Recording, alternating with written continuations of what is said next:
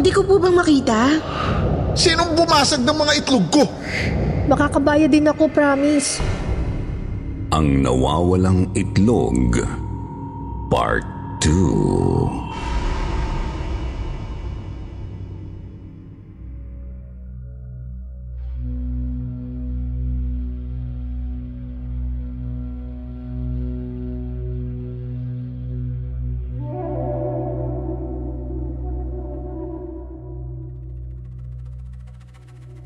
Good day, Sir Jupiter. Ako po ulit ito si Grace, yun pong sender ng episode nyo last July 14 na may title pong Ang Nawawalang Itlog. Grabe nung napakinggan namin ang asawa kong si Ryan kung paano nyo isinabuhay ang kwento namin yun, talaga pong tuwang-tuwa kami. Pakiramdam namin na nung balik lahat ng alaala namin noong nag-uumpisa pa lang kaming magkadevelopan ng asawa ko. Anyway, dahil po doon naisipan namin ni Raya na magpadala ulit ng sulat sa inyo. Dahil gusto rin po naming i-share yung naging karanasan ni Mang Danilo bago pa ako umupa sa bahay niya. Matapos po kasi yung naging pagpapabindisyon namin sa bahay ni Mang Danilo ay kinuwento niya po sa amin noon kung paano nga po ba talaga nag-umpisa ang lahat.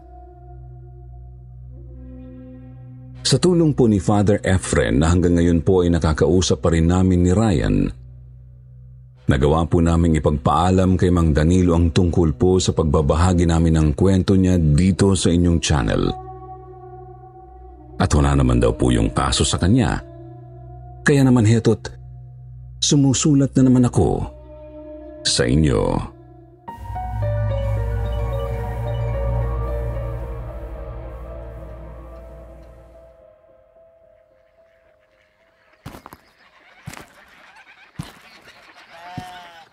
Danilo, naayos mo na ba yung sampung tray ng itlog na pinapaasikaso ko sa iyo? Pupunta na raw dito si Mrs. Trinidad mamaya at kukuha sa atin ng supply para sa tindahan nila. Oo, madam. Kanina ko pa ho naayos. Napakain ko na rin ho yung mga manok. Eh, magpapaalam nga ho sana ako sa inyo kung pwede bang umalis na ako at may kikitain ho sana ako. Tapos ko naman na po ang gawain ko ngayong umaga. Sus! Sino na naman kikitain mong bata ka? Babae na naman. Ikaw, Danilo, bawas-bawasan mo nga yung pagiging palikero mo. Kapag nakabuntis ka, ano ipapakain mo sa magiging pamilya mo? Itlog? Ito namang si madam na nermon pa.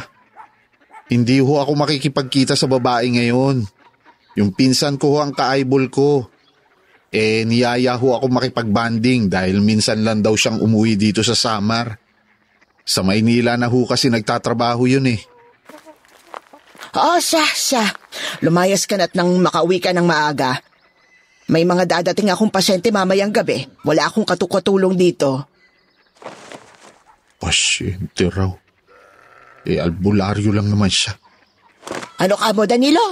May sinasabi ka ba? Ah, eh, ang sabi ko ho, baka po pwede akong bumali. Wala ho kasi akong pera akong itigilan mo, Danilo. Kakapasahod ko lang sa'yo kahapon ah. Ay, diyan ka na nga. May gagawin pa ako. Nye, nye, nye, nye, nye. Eh di wag. Akala mo naman talagang babalik pa ako rito. Sa dami ng itlog na nadekwat ko sa'yo, siguradong makakapamuhay na ako mag-isa.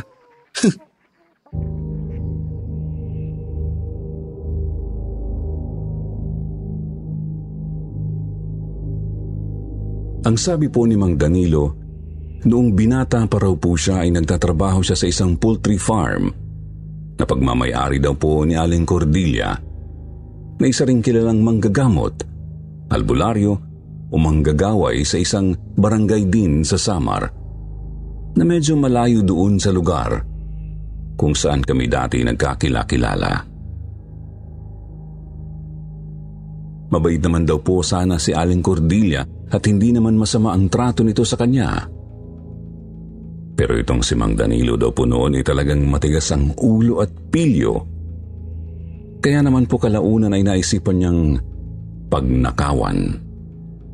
Ang matandang amo niya ng mga itlog na unti-unti niyang iniimbak sa isang lugar hanggang sa makaipon na siya ng sapat na dami noon para gawin ding negosyo sa lugar na mapipili niyang lipatan. Sabi rin po kasi ni Mang Danilo ay matagal na ron niyang gustong umalis noon sa puder ng matanda. Dahil medyo nakakatakot daw itong kasama. Medyo weird daw po kasi si Aling Cordelia at madalas niya raw po itong nakikitang nakikipag-usap sa hangin. Doon sa likod ng bahay nito, kung nasaan yung malawak nitong taniman ng mga gulay at bulaklak. Pero naisip po ni Mang Danilo na yun siguro ang dahilan. Kaya napakarami pong parokyano ni Aling Cordelia pagdating sa panggagamot nito. Nasaksihan na raw po ni Mang Danilo kung paano manggamot si Aling Cordelia at aminado naman daw po siyang talagang nakakabilib ito. Kaya nga halos doon na rin po yumaman ang matanda. Kaya nga dahil din po doon na isa na namang kalokohan ang pumasok sa utak ni Mang Danilo para kumita siya ng malaking pera.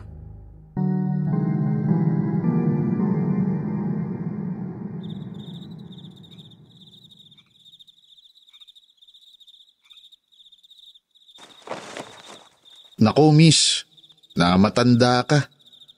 Pero ayos lang yan.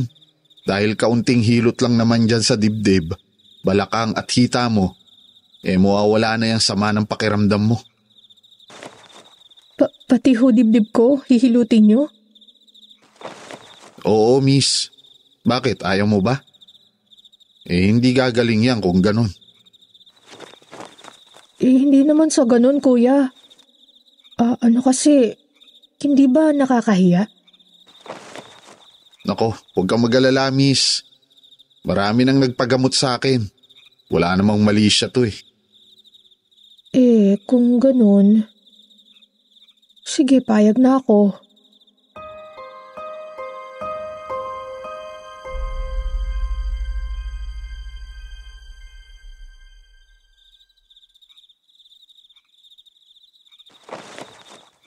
Okay na miss, tapos na. Sa- salamat.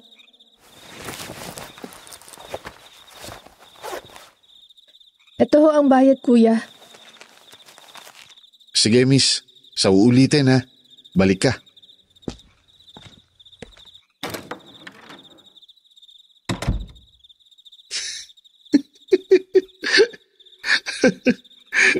Tingnan mo nga naman tong naisip kong kabuhayan.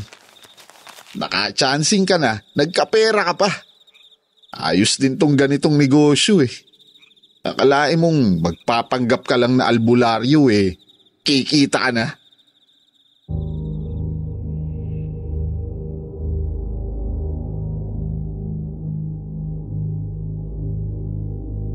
Opo, Sir Jupiter. Ganun nga ang ginawa ni Mang Danilo noon. Nagpanggap lang pala siyang albularyo noong una para lang makapang-chancing sa mga babaeng nagpapadingin sa kanya. Pagkatapos, nagkakapera pa siya. Mga ilang linggo ring nagtagal ang ganong gawain ni Mang Danilo. Hanggang sa isang araw daw po ay may natuklasan siyang isang bagay na siyang babago na po sa buong buhay niya. Kagagaling lang daw po noon ni Mang Danilo sa pagde-deliver ng itlog. Naninakaw niya pa kay Aling Cordelia.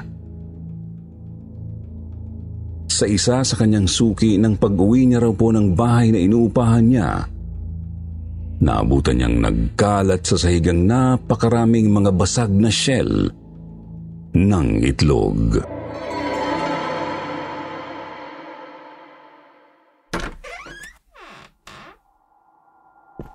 Lintik na yan. Sinong bumasag ng mga itlog ko? At nag-iwan ka pa ng bakas ha? Umanda ka sa akin kapag nahuli kita.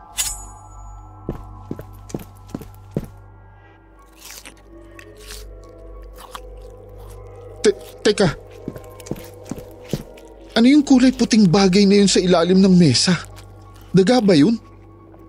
Teka, malapitan nga. S- sandali. Hindi naman to mukhang daga eh. Mu- mu- mukhang halimaw. Pero bakit ang liit?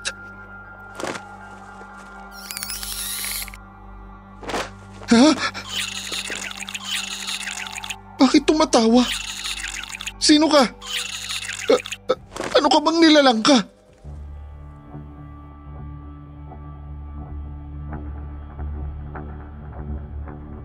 Bigla na lang daw pong napaupo sa sahig nun si Mang Danilo sa sobrang takot lalo na nang tuluyan na nang makita ang hitsura ng nilalang na inakala niyang daga noong una. Dahil humarap na ito sa kanya habang tumatawa. Maliit na nilalang daw po ito na kulay puti ang balat. Ganon din ang lahat ng hibla ng balahibong bumabalot sa katawan nito. Puti rin daw ang kulay ng mga mata nito. Pati na rin daw po ang loob ng bibig nito. Maging ang ngipin. Bigla daw po itong sumagot kay Mang Danilo gamit ang isang lengguaheng hindi naman po pamilyar sa kanya. Pero himalang naiintindihan daw niya. Sabi raw sa kanya ng nilalang, isa raw siyang duwende. Galing daw siya doon sa poultry farm ni Aling Cordelia dahil kaibigan daw niya yung matandang manggagaway. Alam daw po ni Aling Cordelia ang ginagawang pagnanakaw ni Mang Danilo sa kanyang mga itlog. Pero hinayaan lang daw po ito ng matanda. Dahil halos pamilya na rin ang turing nito kay Mang Danilo. Bukod pangaraw po doon, inutusan daw po nito yung duwende na samahan si Mang Danilo at hatiran siya ng swerte. Para maging magaan ang buhay niya kahit wala na siya sa puder ni Aling Cordelia. Yun nga lang ho, Sir Jupiter. Imbis na gamitin ho ni Mang Danilo yung bago niyang alaga para sa ikagaganda ng buhay niya, ginamit niya raw po ito para magtagumpay pa siya sa iba pa niyang kalokohan sa buhay. Ito raw po ang nagbigay ng karunungang itim kay Mang Danilo kaya kalaunan ay talagang natuto na siyang manggamot na ginagamit naman ni Mang Danilo para kumita siya ng limpak-limpak na pera. Magaling na imitator daw po kasi ang mga duwende. Kung ano ang nakikita nitong ginagawa ng kanyang amo ay ginagaya rin ito. Kaya po pati ang pagiging manyakol ni Mang Danilo ay nakuha na rin ng mapaglarong nilalang. Sabi ni Mang Danilo, unti-unti raw pong nagbabago noon ang kulay ng duwending alaga niya. Kung dati ay puting-puti ito, ay nagsimula na raw po itong maging kulay itim. Pero sabi niya ay masyado raw po siyang busy noon sa pera niya at mga babae kaya wala siyang oras para pansinin pa ang pagbabago ng duwending alaga niya. Hanggang sa maipatayo na nga po ni Mang Danilo yung mga paupahan niya lalo na yung isang paupahan na nandoon sa likod ng bahay niya kung saan puro babae lang ang pinatitira niya. Yung mga babaeng gipit na gipit. Yung mga babaeng walang choice kundi ang magstay sa lugar na yon kahit na kung minsan ay ibang bagay na ang hinihingi ni Mang Danilo bilang kabayaran sa renta.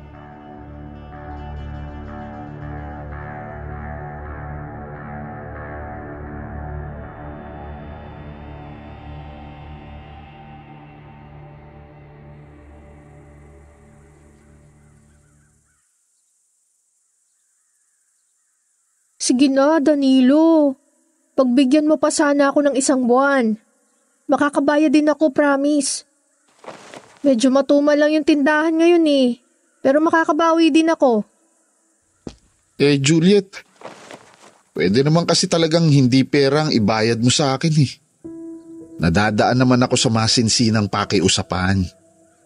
Halika sa loob ng bahay mo at doon natin pag-usapan kung paano ka makakabayad sa akin.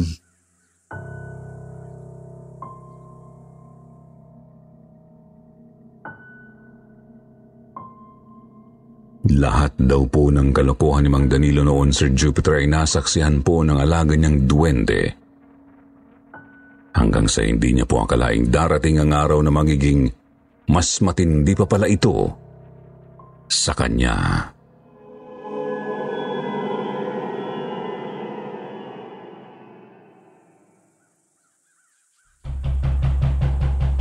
Napakasama mo, Danilo!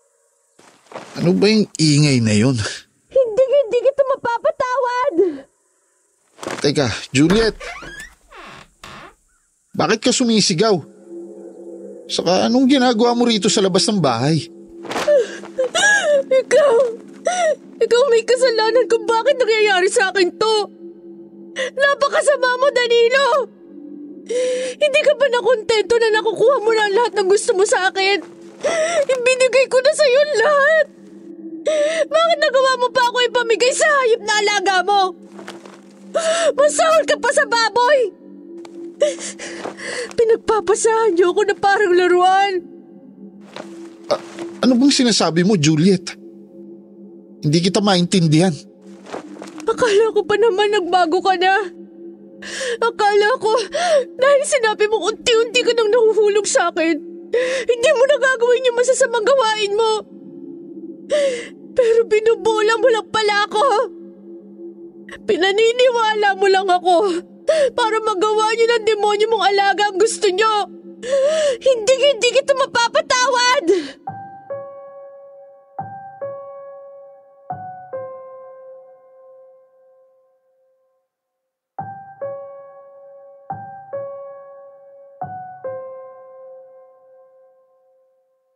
Si Juliet. Siya po ang naging pinakamatagal na tenant ni Mang Danilo noon sa apartment sa likod ng bahay niya. Si Juliet din po ang nag-iisang babae na magpapabago na sana noon kay Mang Danilo. Dahil ang totoo po ay nagkahulugan sila ng loob. Kaya lang po ay biglang nangyari ang kababalaghang yun na ang may pakana ay ang duwending alaga niya. Ang sabi daw po kasi ni Juliet, hinahalay daw siya ng duwending nakatira sa apartment na yun tuwing natutulog siya. At sinabi raw po ng duwende na si Mang Danilo mismo ang nakaisip ng kalokohang yun. Siyempre, galit na galit po si Mang Danilo noon. Iniwan po kasi siya ni Juliet dahil sa sobrang sama ng loob nito. Kaya kinumpronta niya yung alaga niyang duwende. Pero wala rin pong nagawa si Mang Danilo. Ibang-iba na kasi yung dating makulit lang na alaga niya. Ngayon po ay napakasama na nito at nagawa siyang pahirapan sa pinakabrutal na paraang hindi ko na po iisa-isahin pa dito sa sulat ko. Binalot daw po ng matinding takot si Mang Danilo noon, kaya hindi niya na nagawa pang labanan ang duwende. Hanggang sa nagkabaligtad na lang sila ng sitwasyon. Kung dati ay siya ang amo, ngayon po ay siya na ang alipin ng itim na duwende. Inutusan daw po siya nitong maghanap ng mga babaeng titira sa bahay na inalisan ni Juliet para gawing alay sa duwende. Kapalit daw po noon ay ang marangyang buhay ni Mang Danilo pati na rin daw po ang kanyang kalayaan. Simula daw po noon ni naging sunod-sunuran na lang si Mang Danilo sa duwende.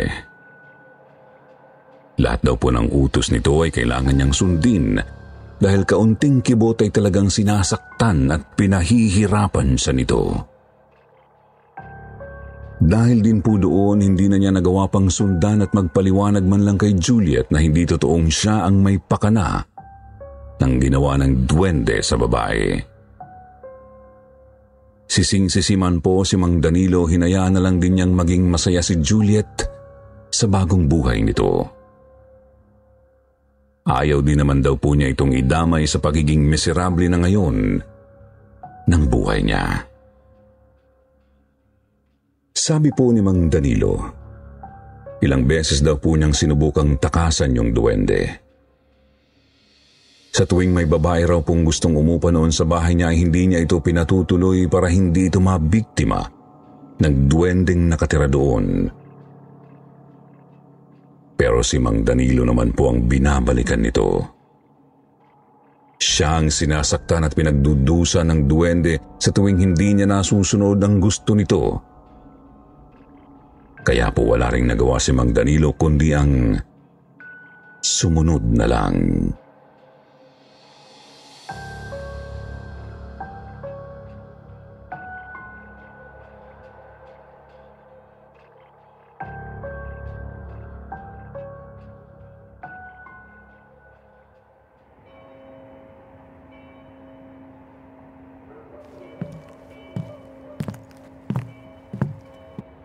Danilo? Ikaw ba yan? Himalat na padpad ka yata rito sa simbahan. Ah, ano? Tumaan lang ako rito sa simbahan dahil hinahanap ko yung tenant ko.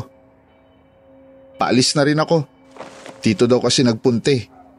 May utang pa kasi sa akin yun. Galing nga rito yung tenant mo. Pero hindi na siguro yun babalik sa apartment mo, Danilo.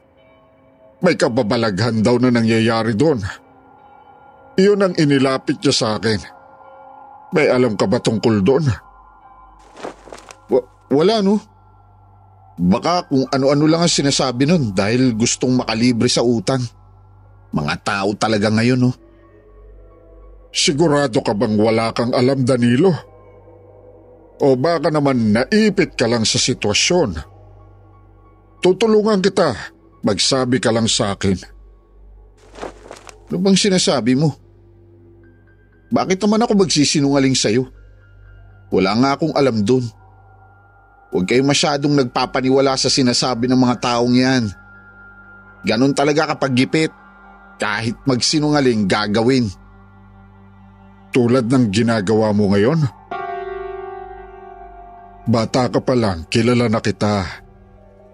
Kung hindi mo naaalala, nung nasa seminarya pa lang ako, isa ako sa palaging dumadalaw sa iyo noon sa ampunan. Diba nga, sa akin ka pa nga nagsusumbong noon sa tuwing may umaaway sa iyo? Pwede ka pa rin namang magsabi sa akin, Danilo. Tutulungan kita. Ikaw nga rin ang nagsabi sa akin, noon pa yun.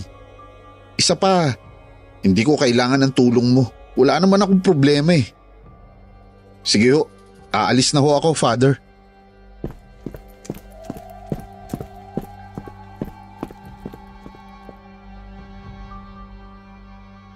Nang mga panahong yun daw po ay halos wala nang pagkatiwalaan si Mang Danilo. Hindi niya alam kung saan siya hihingi ng tulong. Kaya kahit si Father Efren po ay hindi niya na rin hinayaang makialam noon sa nangyayari sa buhay niya. Nagpatuloy po sa pagpapahirap sa kanya yung duwending itim. Habang si Mang Danilo naman po ay nagpatuloy din sa paghanap ng mga babaeng iaalay dito para lang tingilan na siya ng duwende. Hanggang sa mapadpad na nga po ako noon sa lugar ni Namang Danilo.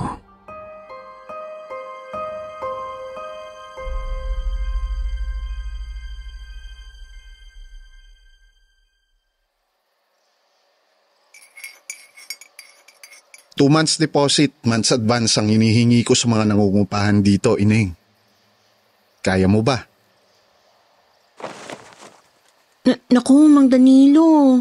500 pesos lang po kasi pera ko rito ngayon.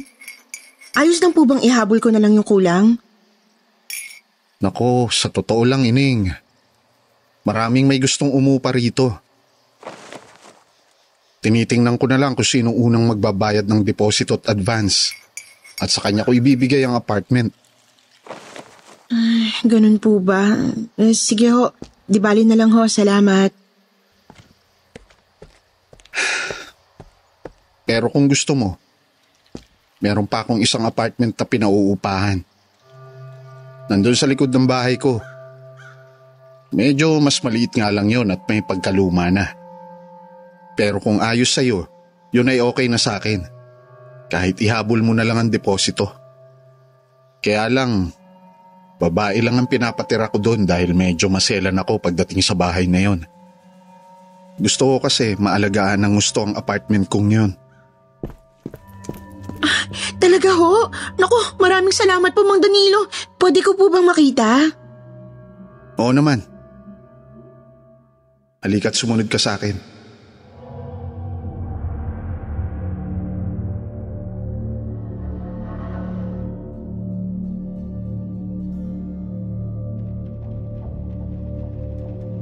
At alam niyo na po ang nangyari. Pagkatapos kong makaranas ng mga kababalaghan sa bahay na yun ni Mang Danilo. Sa totoo lang po ay sobra-sobrang pasasalamat at paghingi ng tawad ang ginawa sa amin ni Mang Danilo dahil sa nangyari. Pero mabilis lang po namin siyang napatawad ni Ryan pagkatapos naming malaman ang buong kwento niya kung saan at paano niya nakuha ang duwending yun. Ang sabi po ni Father Efren, malamang daw po na hindi na bumalik yung nilalang na yun para gambalain pa si Mang Danilo dahil sa wakas ay naibalik na raw po nito ang pananampalataya niya sa Diyos na siya raw pong pinakamabisang paraan para itaboy ang masasamang elemento sa paligid natin. Simula po noon ay tinanggap ni Mang Danilo lahat ng kasalanan niya at ipinagpasa Diyos na niya ang kanyang sarili. Alam niya pong siya rin ang naging dahilan kung bakit naranasan niya ang mga paghihirap na naranasan niya. Kaya nga po gusto niya ring ibahagi ang kwentong ito sa inyo. Hiling po ni Mang Danilo na sana maging leksyon daw po ang kwentong ito sa mga tagapakinig ng inyong channel. Sabi pa ni Mang Danilo, tayo raw po ang nagdidikta kung paano tayo tatratuhin ng tadhana. Kaya maging maingat po tayo sa bawat magiging desisyon natin sa buhay. Muli maraming maraming salamat po sa pakikinig sa kwentong ito. Sana po may natutunan tayong aral dito. Muli ako po si Grace. Magandang araw po sa lahat.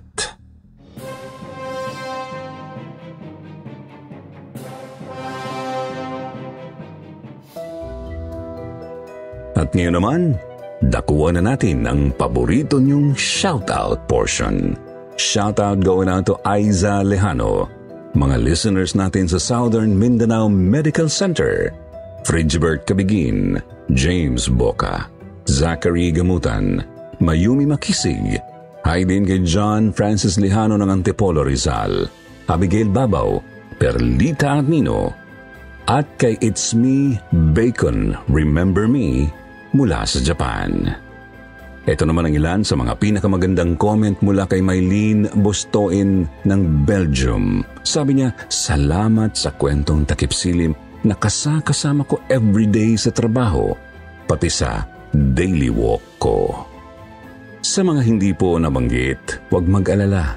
Sa susunod po kayo naman. Huwag niyo lang pong kalimutang mag-reply sa ating shoutout box na nasa comment para ma-shoutout din ang mga pangalan nyo. Muli po mula sa bumubuo ng kwentong takip silim. Ito ang inyong lingkod, Jupiter. Nagpapasalamat.